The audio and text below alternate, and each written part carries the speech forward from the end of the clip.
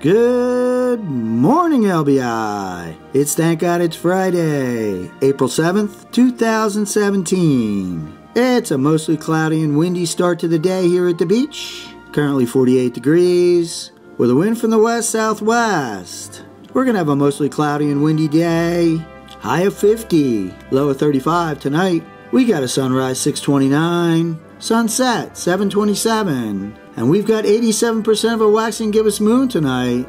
There's a nice southeast swell sweeping onto the sandbar this morning. We got a high tide 5:32 a.m., low tide 11:51 p.m., and the ocean water temperatures in the upper 40s. So come on down to the beach. Get those boots in the sand. Stay above the weather and enjoy this thank God it's Friday on the beaches of LBI. Have a great day.